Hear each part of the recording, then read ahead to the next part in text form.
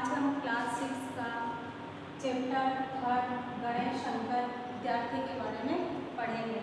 विद्यार्थी के जीवन में कब कब उन्होंने कैसे कैसे शिक्षा प्राप्त की, कहाँ कहाँ प्राप्त की, ये इसमें बताया गया है। और वो स्वतंत्रता सेनानी बनने के साथ साथ एक कुशल पत्रकार भी थे और उन्होंने कौन कौन से पत्रकारिता में कौन कौन से पत्र लिखे और कौन से पत्र उनके ज़्यादा विख्यात हुए ये सब इसमें बताया गया है। गणेश शंकर विद्यार्थी एक सच्चे देशभक्त थे। सामाजिक बुराइयों के निराकरण के लिए सदैव कटिबद्ध रहते थे। उन्होंने धर्मांधता कभी स्वीकार नहीं की। इस संदर्भ में उनका व्यक्तित्व कुछ कुछ संकर कबीर जैसा है। अंतर केवल इतना था कि कबीर के चिंतन का स्रोत जहाँ मूल ब्रह्म था, वहीं विद्यार्थी के चिंतन का मूल था राष्ट्र। कबीर जी के चिंतन का विषय क्या था? ब्रह्म। ब्रह्म के विषय में वो लिखते थे, पढ़ते थे। और विद्यार्थी जी के चिंतन का विषय क्या था? राष्ट्र। वो सब राष्ट्र के बारे में लिखते थे। राष्ट्र आगे कैसे बढ़े, ये सब वो बताते थे। राष्ट्र निर्माण के कार्य में वे हिंदू और मुसलमान दोनों की भूमिका महत्वपूर्ण मानते थे। ये नहीं कि केवल हिंदू ही आगे आए तो राष्ट्र का निर्माण हो गया मुस्लिम ही आगे आए। सब सब समाज के लोग अगर इकट्ठा होंगे तो हमारे राष्ट्र का निर्माण होगा, चाहे हिंदू हो, मुस्लिम हो, सिख, ईसाई हो, सभी को साथ हमें आना पड़ेगा मिलजुल कर हमें देश के लिए काम करना पड़ेगा, ऐसा वो मानते थे। 26 अक्टूबर 1880 ईस्वी का ही वह पुण्य दिन था, जब इलाहाबाद के अतरसुरिया मोहल्ले में इस महान विभूति का जन्म हुआ था। गणेश शंकर के पिता श्री जयनारायण श्रीवास्तव फतेहपुर ज़िले के पुत गाँव के मूल निवासी थे। वे ग्वालियर में अध्यापक थे। गणेश शंकर की प्रारंभिक शिक्षा ग्वालियर के मुंगावली नामक स्थान से ही प्रारंभ हुई। यही उन्होंने कानपुर स्थित क्राइस्ट चर्च कॉलेज में एंट्रेंस की परीक्षा उत्तीर्ण की। उच्च शिक्षा के लिए उन्होंने इलाहाबाद के कायस्थ पाठशाला कॉलेज में प्रवेश लिया किंतु अर्थाभाव अर्थाभाव यानी पैसे की कमी।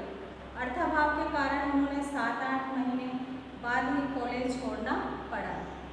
उनका विवाह इलाहाबाद के मुंशी विश्वेश्वर दयाल की पोत्री चंद्र प्रकाश देवी के साथ हुआ था। कॉलेज तो छूट गया, किंतु इसी साल उनका प्रवेश पत्रकारिता के क्षेत्र में हो गया। कॉलेज छूटने के बाद उन्होंने पत्रकारिता ज्वाइन कर ली। उन्होंने कर्मयोगी पत्र के लिए लेख और टिप्पणियाँ लिखकर अपने पत्रकार जीवन की शुरुआत की। उनके जीवन की शुरुआत कौन से पत्र से हुई थी? कर्मयोगी से। इन्हीं दिनों वे सरस्वती के प्रख्यात संपादक पंडित महावीर प्रसाद द्विवेदी के संपर्क में आए और उनके सहायक बनकर संपादन कार्य में हाथ बटाने लगे। द्विवेदी जी उन्हें बहुत मान देते थे। कानपुर में अपने मित्र शिव नारायण मिश्र और नारायण प्रसाद अरोड़ा के सहयोग से उन्होंने 9 नवंबर 1913 से साप्ताहिक पत्र प्रताप का प्रकाशन प्रारंभ किया, प्रका, प्रताप का प्रकाशन कब प्रारंभ किया? 9 नवंबर 1913 को। यही पत्र उनके बहुमुखी व्यक्तित्व की अभिव्यक्ति का आधार बना। इस पत्र को उन्होंने अपने खून पसीने से सींचा। खून पसीने से सींचने का मतलब बहुत मेहनत करना। उन्होंने इस पत्र के लिए बहुत मेहनत की थी। उन्होंने इसे अंग्रेज़ी सरकार के दमन, अन्याय और शोषण के विरुद्ध एक कारगर हथियार के रूप में प्रयुक्त किया। इस समय ऐसा भी आया जब उनका यह पत्र स्वतंत्रता संग्राम का पर्याय ही बन गया। अंग्रेज़ी सरकार बार बार इसे बंद करने की धमकी देती रही, किंतु अपनी दृढ़ इच्छा शक्ति, गहरी सूझबूझ, निर्भीकता, विलक्षणता प्रतिभा और निष्पक्षता के बल पर गणेश शंकर विद्यार्थी ने अपने जीवन काल में प्रताप के, प्रताप को कभी बंद, मंद नहीं पड़ने दिया। 22 नवंबर 1920 से प्रताप अपनी लोकप्रियता के बल पर साप्ताहिक से दैनिक हो गया। साप्ताहिक का मतलब होता है सात दिनों से इसका प्रकाशन होना, परंतु इसका प्रभाव इतना हुआ कि वो दैनिक हो गया। दैनिक यानी रोज प्रकाशित होने लगा। अनेक पत्रों ने इसे अपना आदर्श बनाया और इसके संपादन से प्रेरणा ली। गणेश शंकर विद्यार्थी केवल उत्कृष्ट पत्रकार और संपादक ही नहीं थे, वे स्वतंत्रता संग्राम के कर्मठ तथा जूझारू सेनानी भी थे। वे अखिल भारतीय कांग्रेस की गतिविधियों में सक्रिय योगदान देते थे। जब कांग्रेस का सविनय अवज्ञा आंदोलन चला तो उन्हें संयुक्त प्रांत का प्रथम डायरेक्टर मनोनीत किया गया उन पर राजद्रोह का आरोप लगाया और गिरफ़्तार कर जेल में डाल दिया प्रकार 1921 से 1931 तक वे पाँच बार जेल में चले गए।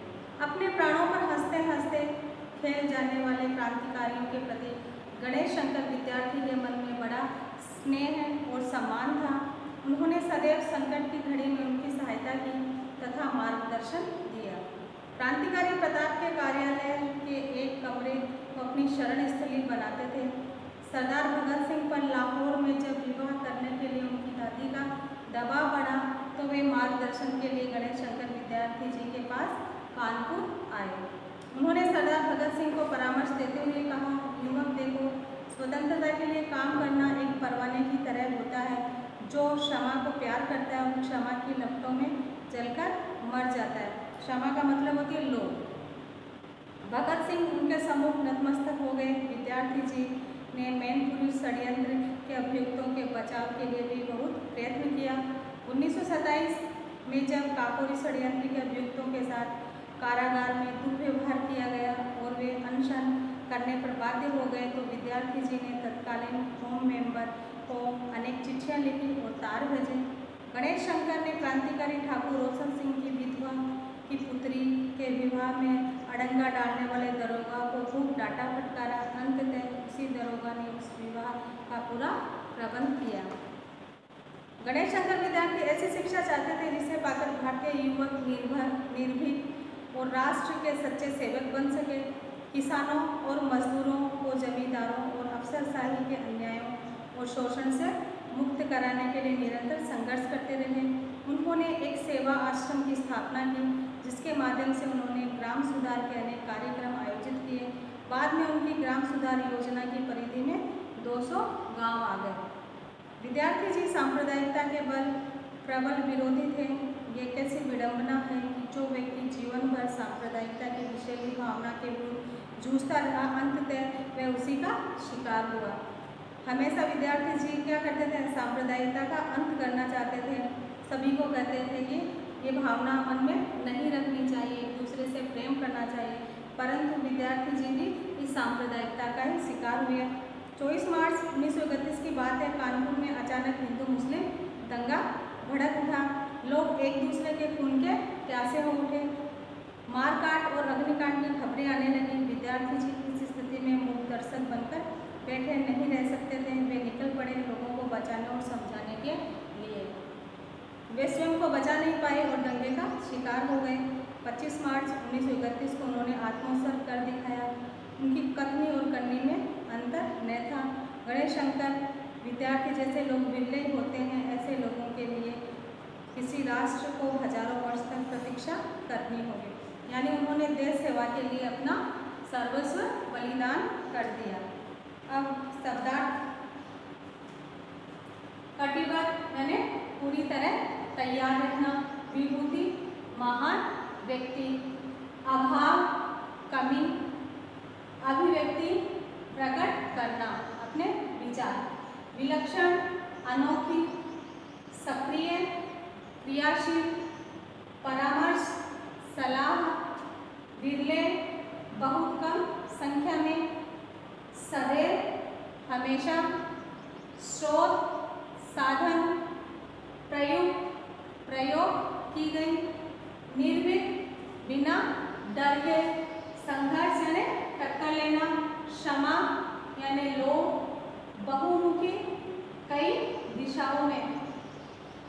प्रश्न देखो गणेश शंकर विद्यार्थी का जन्म कब और कहाँ हुआ था? गणेश शंकर विद्यार्थी का जन्म सॉरी ये ये ये पाठ किसके जीवन पर आधारित है? किसके जीवन पर आधारित है गणेश शंकर विद्यार्थी के जीवन पर आधारित है सेकंड प्रश्न है विद्यार्थी जी, के चिंतन का मूल क्या था? क्या था? राष्ट्र निर्माण। विद्यार्थी जी, हमसे किस प्रकार बिछुड़कर चले गए? 24 मार्च उन्नीस सौ इकतीस की बात है। कानपुर में अचानक हिंदू, मुस्लिम, दंगा, भड़क उठा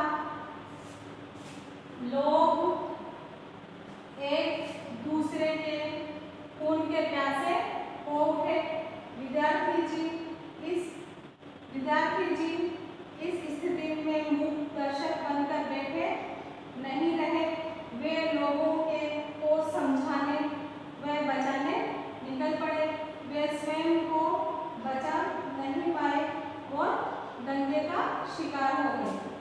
अगला प्रश्न है, विद्यार्थी जी के प्रमुख पत्र का नाम क्या है? क्या है प्रमुख पत्र का नाम? प्रताप।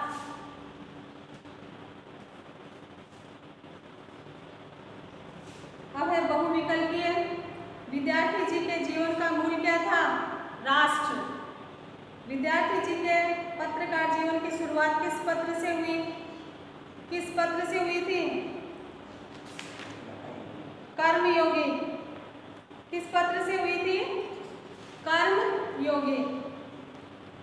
ग्राम सुधार योजना की परिधि में कितने गाँव आए? 200 अब अगला प्रश्न है, गणेश शंकर विद्यार्थी जी का जन्म कब और कहाँ हुआ था?